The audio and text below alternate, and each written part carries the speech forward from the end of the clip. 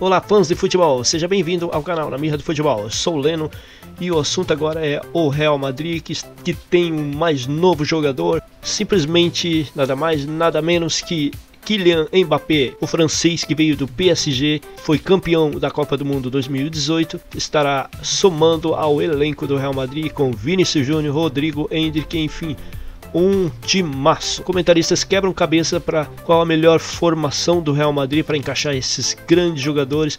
Se bem que agora o Hendrick ainda nem chegou lá, é um garoto novo, está começando e vai demorar para encaixar nesse time, mas é um bom jogador. Mbappé já chega chegando e vai ser um quebra-cabeça para Carlos Ancelotti montar esse time, mas é um time de galácticos. É atual campeão da Liga dos Campeões. Deixe seu joinha, o seu like para ajudar o canal a crescer. Se inscreva, créditos ao Seleção Esporte TV da Globo. Vamos ao vídeo. Na temporada espanhola, na temporada europeia, eles vão ter que conviver, não vai ter jeito. E vai ter dancinha. Vai, Vai ter, ter dancinha. vai ter tudo aquilo, porque esses são. Porque o que eles gostariam é que eles fossem pretos que se encaixassem nas normas estabelecidas por eles, brancos, de comportamento. Nenhum deles se encaixa nas normas estabelecidas pelos brancos de comportamento. Vão ter que engolir isso tudo. E aqui a gente vê dois jogadores que chegaram muito moleques, que são Vinícius Júnior e Rodrigo, que passaram alguns jogos, no caso do Vinícius Júnior, cinco, na primeira temporada no, no Real Castilha, que é o Real Madrid B, e dois que já vêm grandes, né? O Bellingham é comprado do Borussia Dortmund, ele já era um jogador grande no Borussia Dortmund, e o Mbappé chega com status de grande estrela já no É, futebol eu- mundial. Eu ia falar isso sobre o 2.0, eu acho que cabe, né? Galácticos 2.0, por tudo que eles são hoje, mas é, é diferente a política de contratação. Daí do que era antes, né? Galáctico, claro que foi muito caro também o Bellingham, né? Mas eu botaria o Mbappé mesmo, que era o topo do mundo. O Bellingham já foi contratado por uma- um grande montante de dinheiro pelo que é a indústria do futebol hoje. Mas ele ainda era um cara que estava jogando um time menor, em ascensão, que todo mundo achava que seria um grande jogador, que ele está confirmando agora. Mas o Mbappé é a contratação de Galáctico, só que sem gastar. Acabou o contrato dele, sem gastar, né, gente? Não, ele não foi lá pagar Paga o 200 salário dele milhões. lá, paga o Mas, é, salário- mas é de uma forma brincadeira lá. diferente. Como o Bellingham custou 100 milhões, ele vem né, no, no fim de A contrato. gente está rodando o que é a carreira do Mbappé, que começa no Mônaco, já é assim um furacão no Mônaco. Com 16 anos ele já se torna o jogador mais jovem a participar de um jogo oficial da equipe francesa. Lá ele ficou por 60 jogos, foi destaque em Liga dos Campeões, chama atenção e vai para o PSG. Era um projeto do clube, do país, né? Ter um jogador desse tamanho lá, chega junto com o Neymar, inclusive. É, vai se destacando na seleção francesa, disputa duas finais pela França e não consegue levar. É mais um craque do futebol mundial que não consegue levar o PSG ao sonhado título da Liga dos Campeões. Ganhou sete vezes o Campeonato Nacional, quatro vezes a Copa da França, três vezes campeão da Supercopa, mas isso no PSG é é visto como obrigação, quase fracasso. Se quando você vai disputar essa orelhuda aí você não consegue sucesso, que é o caso dele, o caso do Neymar, o caso do Messi e todos que por lá passaram. É, acho que é importante falar o seguinte: segundo jogador mais jovem a fazer um gol em final de Copa do Mundo, só perde do Pelé, né? Ele fez um gol na final da Copa da Rússia contra a Croácia, né? Acho que é importante falar uma coisa do Galáctico, do- da primeira versão dos Galácticos para essa. A primeira versão era claramente, embora só com craque, um projeto de marketing, né? Quem já viu os documentários, inclusive, sobre o tema, não estou aqui especulando, é um fato. O Florentino Pérez pensava no negócio futebol, né? em como o Beckham eh, atrairia fãs no mercado asiático, no que seria a junção de Figos, Dani, Beckham, Ronaldo, Roberto Carlos. Não se pensou tanto no projeto esportivo, se pensou em reunir estrelas do futebol mundial. Agora é diferente. Porque agora, além de estrelas, você está pensando claramente num projeto, em se manter é, tão vencedor como é o Real Madrid de hoje. Então acho que é um projeto bem diferente daquele de anterior. E olhando a formação de elenco, eu acho que o Real Madrid dá aula, ele não forma elenco, ele dá aula. Porque a- a- olha Ah, a idade de uma coisa entre os integrantes do povo preto, o Hendrick. que está chegando agora. o Hendrick. É. Aqui estão Ainda as opções o que o Real. Madrid tem, ó, é, de jogadores muito jovens que ainda tem lenha para queimar. O Militão, por exemplo, o Militão ele chega em 2019. O Sérgio Ramos era titular absoluto. Ele espera três anos para o Sérgio Ramos sair e virar uma realidade no Real Madrid, porque o Real tem contratado assim. Ele traz garotos e, e vai aguardando que os mais veteranos gastem o tempo e aí saem. O Tchouameni vem para o lugar do Casemiro que o Manchester United pagou uma fortuna, mas o Real Madrid falou: beleza, pode ir, vou trazer aqui, já tenho o Giovanni pronto para entrar no seu lugar. Como o Camavinga, como o Valverde. É, ele não tem mais o Kroos esse ano. Cara, ele vai ter uma sequência de jogadores muito jovens ali na posição. Brahim Dias, o Arda Güler, que é jogador da seleção turca, 19 anos, ponta direita, é visto como um futuro fenômeno. O Bellingham, o Vinícius Júnior, que quando veio, não foi só no Brasil que se desconfiava dele. O próprio Benzema chegou a ser flagrado dizendo: não toca pro Vini, que ele não está pronto ainda. Está jogando contra ele. a gente. A, é, a bola a não volta. Mas ele foi sendo formado, foi sendo formado até virar um monstro que é hoje, como o Rodrigo. O Mbappé já vem pronto, eu sei. Mas é muito o caso do Hendrick, né? Ele vem com 17 anos. Então é, é um clube. Por isso que eu falei, desses da, da, do Galácticos 2.0, é só o Mbappé nesse. Agora ele pensando nunca teve um time tão bem parecido, acompanhado, né? né? Pensando Quem? como era Mbappé. antigamente, o Mbappé. Mas, mas é, só assim, jogou com o Neymar e Messi, né? Ó, se colocando mas... na cabeça do Real é, Madrid. É, tinha Neymar e Messi. Cara, não é fácil você dar adeus para uns jogadores como Cacilhas, que depois foi para o Porto, Sérgio Ramos, que foi para o PSG, o Casemiro. O Cristiano Ronaldo, gente. O Cristiano Ronaldo, deu, que foi para Juventus. Cristiano Ronaldo. São jogadores que o Real Madrid é. fala, beleza, pode ir e vão jogar em concorrência. Os ciclos terminam, né? Porque, então, o Real, Madrid, o Real Madrid tem feito isso com maestria, cara maestria. Ciclos terminam. Deixar embora os jogadores que já deram o que tinha que dar, ainda que pudessem jogar mais uma ou duas temporadas e muito rapidamente se renovar. É, e ainda... Com jogadores jovens que vão Continua maturando ganhando. no isso clube. É, é isso que, eu ia que vão maturando. Porque se não tivesse cara, ganhando, poderia ser difícil. diferente. É. Porque seria a transição concluir, agora, seria o normal. Então, assim, eles vão maturando no clube. Maturando no clube. E aí, quando estão prontos, já chegam para chegar, cara. Seria agora a transição. Era para estar tá dando uma sofrida. É igual agora, essa última temporada, perdeu o Benzema também. Né, que foi para a Arábia Saudita atrás daquele monte de dinheiro. Não que ele já não tivesse, né? Mas enfim. É, e aí não tem um centroavante, né? É, trouxeram o José Lu, mas claro Sim, que mas nem de longe. Banco, vai ficar que gerou, até, que gerou um atrito do Ancelotti com o, o, presidente. Só que ganhou. Ele queria o Harry Kane pro lugar do Benzema. E aí acabou ganhando mesmo assim, o que torna tudo mais fácil. Mas é isso, dá, dá aula mesmo, dá de saber a hora certa de sair. Às vezes queria ficar com o Sérgio Ramos. Ó, te dou mais um ano. Ah, não, mas eu quero três. Ah, então tchau, amigo. Então, tchau, tudo bem. A gente segue aqui sem vocês. E aí é o, Tem um militão o ciclo vicioso que todo mundo quer jogar lá. Né? Então fica até mais fácil você pensar os melhores jogadores. Todo mundo quer jogar no Real Madrid. Mas foi buscar um Rudiger no Chelsea também. Tem sim, hora que eles também, assim, sim. eles não só maturam, mas eles têm horas claro, que eles fazem umas contratações pontuais Alaba, importantes e grandes. Bayern, né? Se não me engano, né? O Rudiger no Chelsea, enfim, você, de vez em quando você... É, pô, perdeu o Courtois machucado, acabou trazendo o Kepa, acabou o Kepa não, não deu resultado, mas, mas, mas tem um hora ano. que o Real Madrid abre... O vai renovar por mais um ano. Eu Exato. acho interessante, ao mesmo tempo que faz essa projeção, que olha para o futuro, né? É, permanece por mais um ano com um cara como o Modric, e aí é aquela coisa que só nos permite especular. Provavelmente é um cara que internamente funciona muito. Sim. Provavelmente é um, é um, é um, um, um construtor ali. É, ah, e quando pontos. entra também, ele, ele não, joga ali 10, entra, 15 minutos. Pô, é, e o Kroos não, é, não joga não quis também. Eu acho que o Kroos ficaria é, também. Não, ele não joga mais porque o time titular é muito forte. E é um cara que ainda entrega. E aceitou renovar por um ano, de, uma, de um em uma temporada, Isso. que faz diferença. Agora, olhando para esse elenco do meio para frente, tá todo mundo se perguntando como é que vai jogar?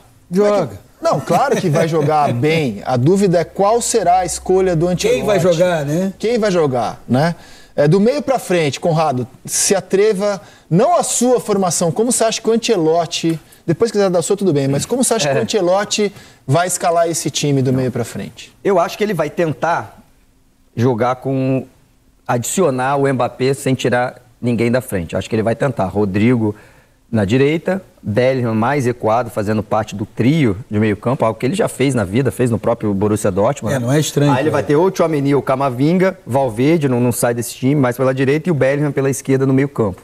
Continuando o tripé ali no meio, é... E na frente o trio. E aí na frente, Rodrigo, Vini Júnior e Mbappé. Vini Júnior e Mbappé é, mudando de posição, um vai por dentro, outro vai pela esquerda, que é sabido que o Mbappé prefere jogar mais na esquerda, ele não gosta de ficar só por dentro como centroavante. Com você, acho que ele Mas vai testar ele essa vai formação. E aí vai ter que ver principalmente o momento defensivo, como é que vai ser a marcar duas linhas de quatro, né? O Bellingham voltava pela esquerda, Vini, não precisa voltar. O Vini ficava lá na frente, Vini e Rodrigo são os caras que faziam o primeiro combate. Bellingham voltava pela esquerda, aí tinha os dois volantes por dentro e Valverde pela direita. Então, ele vai ter que ver isso, vai ter que um a mais voltar. Volta o Rodrigo de vez em volta o Vini de vez em quando, ou volta o Rodrigo, mas aí ele vai ter que ficar mais por, por um é. lado. Mas enfim, o, o, o Ancelotti é o técnico exemplo, ideal é. para dar esse problema para ele. Eu acho que no jogo mais escamado ele pode sacrificar o Rodrigo e reforçar o meio e pôr o Valverde fazendo o lado direito, como também fez muitas vezes e muito bem. E aí reforçaria o meio com o Chouameni, Camavinga e o Jude Bellingham. Eu acho que num jogo assim, Manchester City na Inglaterra, um jogo de mata-mata, talvez ele possa sacrificar o Rodrigo optando por uma consistência maior de meio campo, um poder de marcação maior. Mas enfim, o vai campo problema, vai dizer, né? Vai eu falei problema, assim, né? acho que ele vai tentar no começo. Aí o campo vai dizer se isso vai funcionar ou não. Também Mas acho. assim, vamos dizer que não Também funcione. Acho. É claro que o mais provável é que salve para o Rodrigo. E, e Mas detalhe, aí, enfim, gente, aí ele vai ter, que, vai... vai... ter que decidir esse problema, só que é o Rodrigo. Ele está em franca sanção, é um Zagueiros. cracaço de bola. O Rudiger teve uma temporada excepcional. Sim. Tem a volta do Alaba. Você vai ter Alaba, Militão e Rudiger brigando por duas vagas também. Vai ter muita disputa nesse elenco do Real Madrid. Mas, mas todas essas disputas, tendo uh, a, a liderá-la, um técnico que tem o máximo respeito de todos esses jogadores.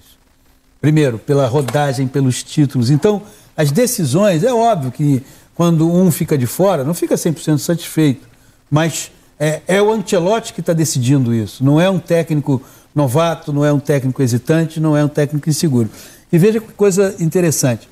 É, provavelmente, na Copa América, o Hendrick deverá ser o titular da seleção brasileira. Tudo leva a crer, Sei. né? Não, Sei não, hein? Ele não foi agora, né? É, mas, mas, enfim. Sim, pode ser. Mas pode ser que do, entre no decorrer dos jogos e até sim. consiga se destacar no decorrer Eu dos jogos. que seja. Então, independentemente de começar ou não como titular. Mas no Real Madrid, o espaço, quando ele se apresentar para a temporada no Real Madrid, ele não vai ser. Ele pode fazer muita coisa na seleção brasileira. E tem até condições. Mas no Real Madrid vai ser diferente. Ah, ele vai olhar para dois caras ah, que esse ano sonham com a bola de então, ouro. E aí o Hendrick vai precisar ter a sabedoria de dizer, cara, eu tô num time que não, não, não é assim, eu chego e eu arrebentei na Copa América, fui artilheiro da Copa América e agora eu vou ser titular do Real Madrid. Não, tem todo um protocolo, tem hierarquia, Sim. tem uma série de rituais. Chegar assim. devagarzinho, é, chegar no sapatinho, como diz o pessoal do samba. Chegar, é. O importante é que, é. assim, mas assim, é muito importante que ele jogue também.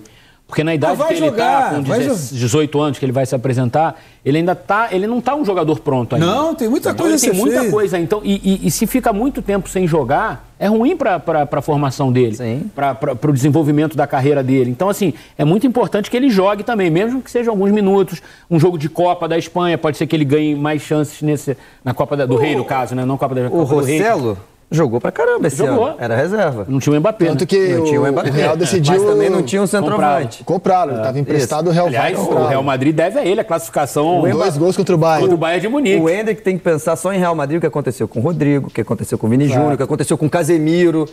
Calma, com Pato, 18 anos. Com o Pato pra, no Milan. Também, mal comparando no, o que está acontecendo com o Vitor Roque. Ficar achando que não joga é culpa de todo mundo, culpa do mundo inteiro. Calma, amigo, acabou de chegar. Chega devagar. Agora, Mbappé, pode ser um jogadoraço, duas finais de Copa. Agora você vai chegar num clube que tem um jogador que dominou a Liga dos Campeões. Dá uma olhada o que foi essa Champions do Vinícius Júnior jogo a jogo. Ele participou de 10 dos 13 jogos do Real, não jogou em 3. E quando entrou em campo, dá uma olhada o que o cidadão fez. Não essa é a, é a temporada da temporada. Eu queria que a gente mostrasse o jogo a jogo. O que ele fez nessa Liga dos Campeões, produção. O Vini foi no Real Madrid nessa temporada o que o Paris Saint-Germain sempre esperou que o Mbappé fosse na Liga dos Campeões. Nunca foi. É porque não deram o Real Madrid pro, pro Mbappé, né? Tem que. Não, não importa. Teve Messi, teve Neymar, teve grandes é, times do PSG também. Aqui estão os símbolos do que o Vinícius Júnior fez nessa Liga dos Campeões. Ele não enfrentou o União Berlim, 1x0 Real, por lesão. Aí contra o Napoli, 3 a 2 fora de casa, um jogaço, um gol. Aí vitória sobre o Braga, 2 a 1 fora de casa, uma assistência. Vitória sobre o Braga 3 a 0, um gol e uma assistência, eleito o melhor do jogo. Isso vai acontecer em quatro partidas, tá? Nessa Liga dos Campeões, ele é eleito o melhor do jogo.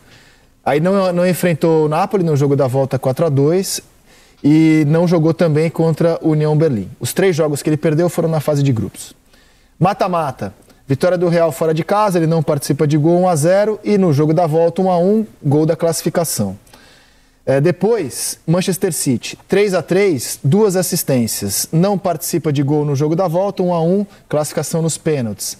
Ele foi eleito o melhor do jogo contra o Bayern de Munique na ida e na volta, É. além de ter marcado a os dois gols dele, da ida. semifinal. né?